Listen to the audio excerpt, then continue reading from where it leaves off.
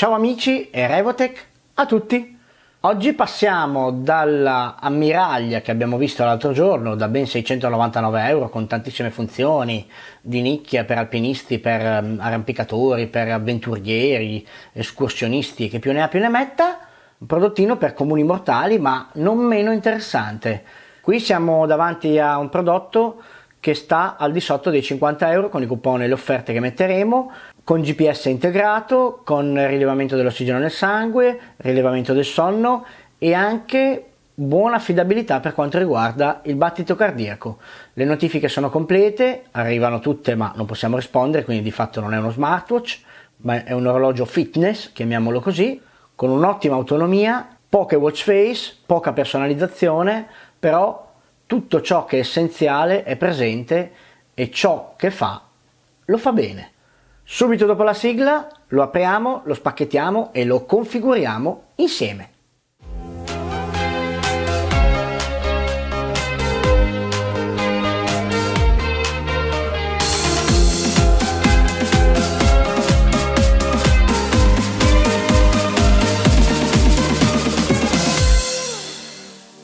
Eccoci qua, lo andiamo ad aprire, guardiamo come è fatto, lo abbiniamo al nostro smartphone e vediamo insieme le caratteristiche di questo orologio smartwatch, viene chiamato dall'azienda GPS, Doji DG CR1 Pro. Era uscito anche il modello CR1 standard, ma noi non l'abbiamo provato. C'è il monitor del sonno, l'ossigeno nel sangue, l'allerta chiamate, sms e altre app diciamo le più importanti, Whatsapp, Instagram, Facebook, le mail. Poi abbiamo il controllo del battito cardiaco preciso, anche 24 ore su 24 e un um, activity tracker con multisport e calorie, ma uno degli aspetti sicuramente più interessanti è che in una fascia di prezzo che sta attorno ai 40-50 euro con uh, le offerte, ci troviamo ad avere a che fare con un dispositivo indossabile che ha il rilevamento automatico dell'allenamento. Mm, si possono selezionare solo due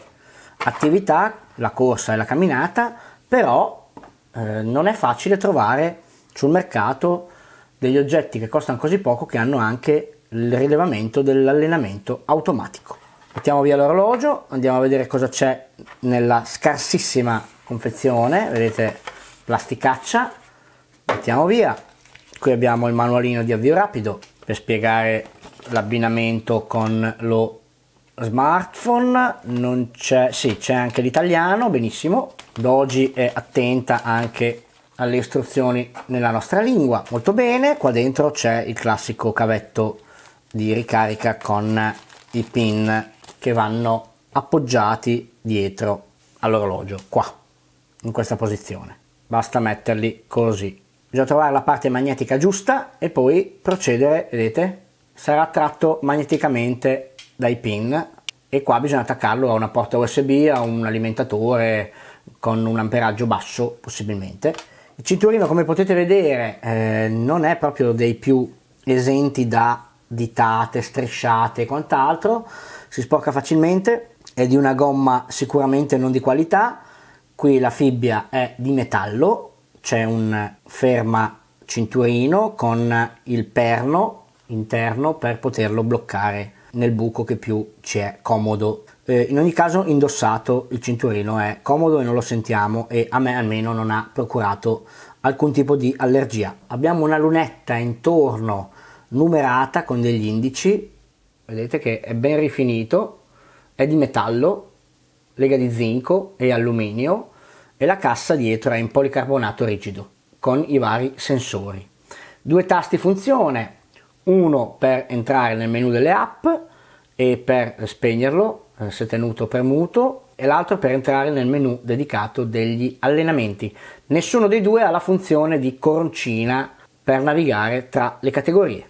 Detto questo lo accendiamo tenendo premuto il tasto in alto a destra Ecco, questa è la watch face principale, molto molto minimal, molto molto scarna, non c'è veramente molto da visualizzare, c'è il movimento del polso che è decisamente sensibile, quindi non vi perderete alcun movimento nel momento in cui dovrete guardare l'ora. Qui abbiamo anche il tastino che è rifinito di rosso, intorno nella coroncina, mentre l'altro è tutto grigio. Bene, l'app che serve per abbinarlo è la VeryFit, questa qui. Dovete andare a eh, creare un account oppure entrate anche come ospiti senza loggarvi, infatti vedete che io non ho fatto l'accesso perché altrimenti ogni volta è un disastro.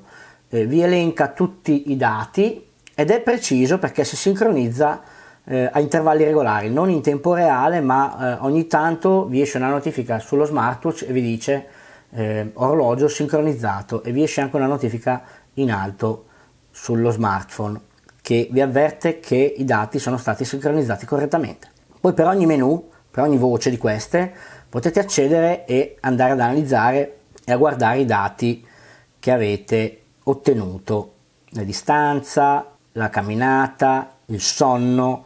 È molto preciso nel rilevamento del sonno, non me l'aspettavo, l'ho indossato per diverse notti ed è stato molto preciso, qua mi dice 9 ore di sonno, ma non sono 9 ore continuative, lui somma i vari pezzettini di sonno nell'arco delle 24 ore, quindi se io mi faccio un pisolino al pomeriggio e poi dormo 7 ore di notte, lui mi va a sommare le eh, varie dormite, tra virgolette, e me le mette tutte insieme, quelle delle 24 ore precedenti. Mi dà anche il punteggio del sonno, mi dice eh, la qualità buona e analisi del sonno mi fa vedere tutte le varie fasi, un'ora e due minuti sveglio, sonno leggero 5 ore e 7 minuti e sonno profondo 2 ore e 47 minuti. Poi vi spiega anche alcune cose, tutte in italiano, poi c'è il monitoraggio della frequenza cardiaca, vi dice la media, la minima la massima, l'ossigeno nel sangue e il livello di stress che viene rilevato mescolando un po' tutti questi dati che sono stati raccolti. Poi ci sono delle impostazioni che vi permettono di anche impostare, non so, un promemoria sullo stress eccessivo, tanto per vederne una. Poi visualizza tutti i dati, andate ancora di più nel dettaglio e vi fa vedere l'elenco completo. L'app secondo me non è proprio ricchissima, però le cose che fa le fa bene ed è eh, chiara ed è di facile lettura anche per chi inizia per la prima volta a utilizzare dispositivi di questo genere. GPS vi fa vedere il segnale qui in tempo reale, è molto veloce nel fix all'aperto, al chiuso fa fatica e non prende quasi mai, a differenza del Vertix che avevamo provato che prendeva anche in cantina. Questo invece mh, prende bene all'aperto, ci vuole qualche secondo, avviate l'attività e lui in automatico si connette al GPS e vi tiene traccia del percorso. Dopo vi faccio vedere.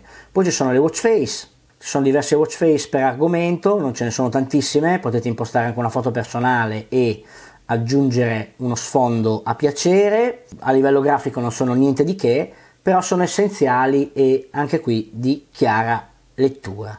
Poi promemoria chiamate in entrate, potete mettere anche il ritardo di 3 secondi, poi potete impostare le sveglie, notifiche abilitate, io ho messo queste ma potete disabilitare quelle che non vi interessano, monitoraggio della salute, eh, abbiamo visto prima, frequenza cardiaca, potete disabilitare quelle che non vi interessa eh, monitorare, ad esempio il reminder sul, sull'acqua io non l'ho, non l'ho tenuto abilitato perché sono uno che comunque beve spesso. Poi c'è anche il monitoraggio del ciclo per le signorine che vogliono utilizzare questo dispositivo e poi ci sono più impostazioni con eh, eventuali aggiornamenti, qua no, lingua, scorciatoia, notifiche meteo, che vedremo anche nell'orologio, controllo della musica, trova telefono, solleva il polso per attivare lo schermo, non ci sono sensibilità intermedie, tipo di allenamento, vi fa vedere l'elenco degli allenamenti che sono nello smartwatch.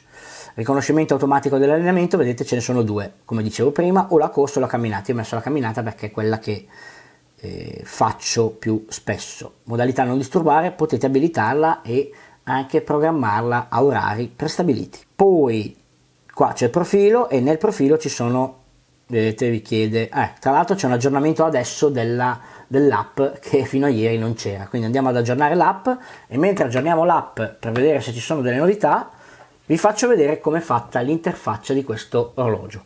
Innanzitutto swipe verso l'alto, toggle rapidi, modalità non disturbare, movimento del polso abilitato o disabilitato, se abilito la modalità notte non si attiva lo schermo ma contestualmente è meglio disabilitare anche il movimento del polso se dormite poi trova telefono luminosità che arriva fino a 3 io la tengo A2 è più che sufficiente, poi impostazioni, tempo di accensione schermo, potete decidere quanti secondi tenerlo attivo, fino a 20 secondi. C'è anche una pellicola installata, non so se si vede contro luce, poi arriverò a toglierla, ma non dà molto fastidio devo dire. Il bordo nero intorno al display, che comunque è un IPS, è accettabile. Dopo vi parlerò in modo più approfondito del display, adesso continuiamo a vedere le funzioni. Oscuramento, è la luminosità, è tradotto malissimo. Schermate orologio, quelle di default sono 1, 2, 3 e 4, anzi sono 3 perché questa qua l'ho aggiunta alla fine. Ogni volta che aggiungete una nuova watch face dovete cancellarne una delle 4, dopo vi faccio vedere dall'app come si fa. Io tengo questa perché è abbastanza minimal ma è carina, una grafica diciamo decente e mi dice la batteria, la data, tra l'altro il menu della data è in italiano, quindi piccola cosa che apprezzo sempre molto in questi orologi che spesso sono in lingua inglese, invece 12 gennaio, questo eh, mi piace. Poi mi dà le calorie e mi segna i passi, quindi tutto molto minimal, però c'è un po' tutto e la grafica è piacevole. È un TFT LCD con risoluzione di 240x240 pixel, quindi abbastanza definito, da 1,28 pollici. Le misure 45x45 x 11,5 mm di spessore, non è sottilissimo ma neanche un mattone, pesa 46 grammi, la metà del Vertix. Lega di zinco e alluminio la cassa, quindi dà un'idea comunque di resistenza importante e dietro come detto policarbonato. Sistema operativo proprietario, abbiamo una CPU Nordico NRF52840 che è il chip che lo alimenta, non c'è memoria interna, non ci sono slot per schede di alcun tipo, è dotato di Bluetooth 5.0 e una batteria da 300 mAh con 49 giorni di autonomia in standby e 7 giorni di utilizzo tipico, utilizzandolo diciamo normalmente. E finora è stato rispettato perché io è da una decina di giorni che lo uso e l'ho caricato una volta sola, perciò siamo tranquillamente nel range che promette l'azienda. Cavo di ricarica magnetico eh, resistente all'acqua fino a 5 atmosfere e il vetro davanti è un vetro temperato. I sensori abbiamo il G-sensor, cardiofrequenzimetro, monitoraggio di ossigeno nel sangue e GPS integrato, quindi potete tranquillamente svolgere le vostre attività fitness, e adesso andiamo a vedere quali sono, senza bisogno di portarvi dietro per forza il vostro smartphone, perché poi quando rientrate a casa in automatico lui sincronizzerà tutti i dati con l'app. Corsa all'aperto, corsa al chiuso, passeggiata all'aperto, passeggiata al chiuso, con le impostazioni, vedete potete eh, selezionare degli obiettivi direttamente da qui, escursione, c'è anche l'escursione, anche qua bisogna andare a selezionare eh, gli obiettivi che volete o la distanza o la durata o le calorie. Swipe verso destra si torna indietro, molto comoda questa funzione perché in quasi tutti gli smartwatch di questa fascia di prezzo spesso invece bisogna cliccare il tasto indietro ed è scomodo, invece lo swipe, anche se il touch non è proprio dei più reattivi, dei, dei più precisi, è comunque un vantaggio. Nuoto in piscina, nuoto in acque libere, quindi si può nuotare anche in teoria al mare, vogatore e ellittica.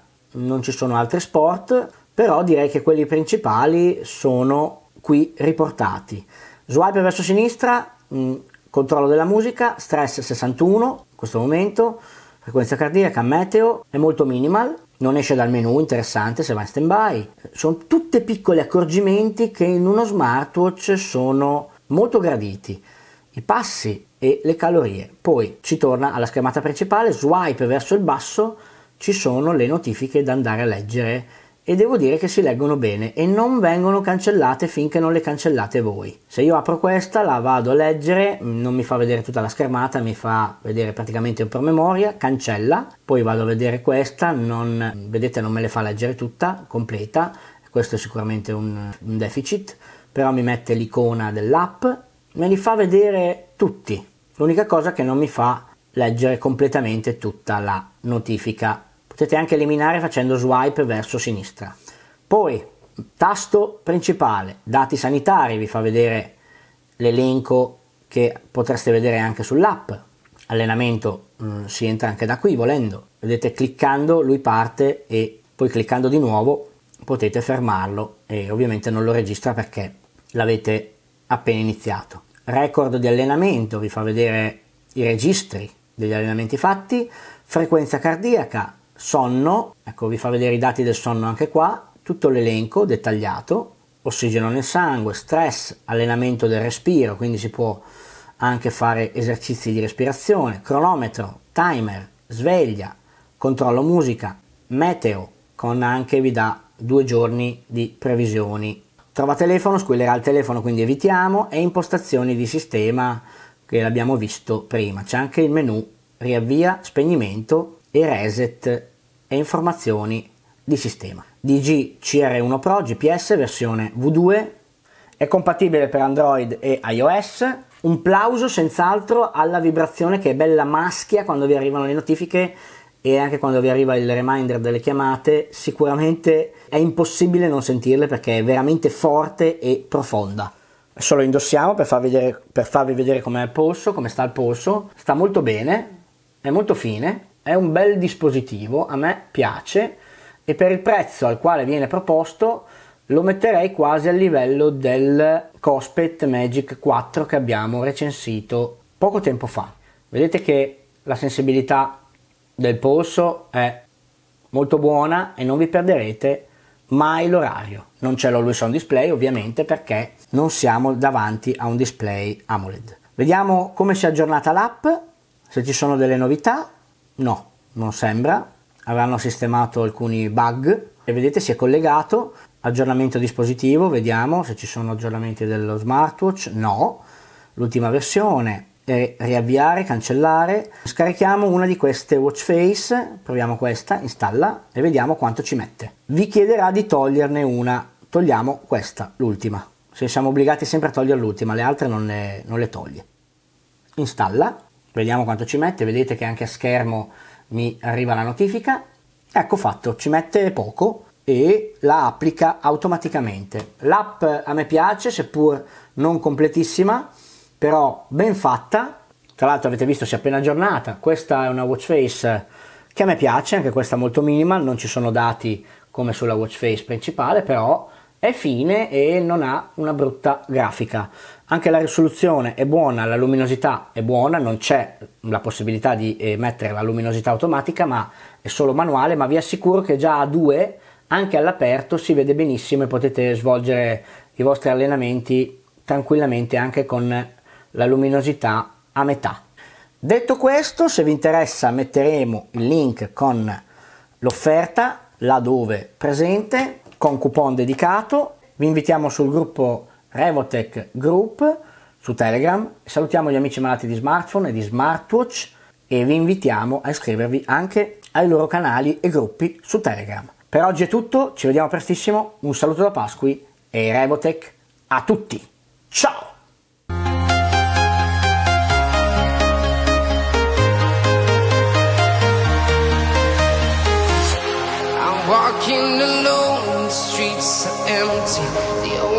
I can see my own silhouette. I'm getting stronger.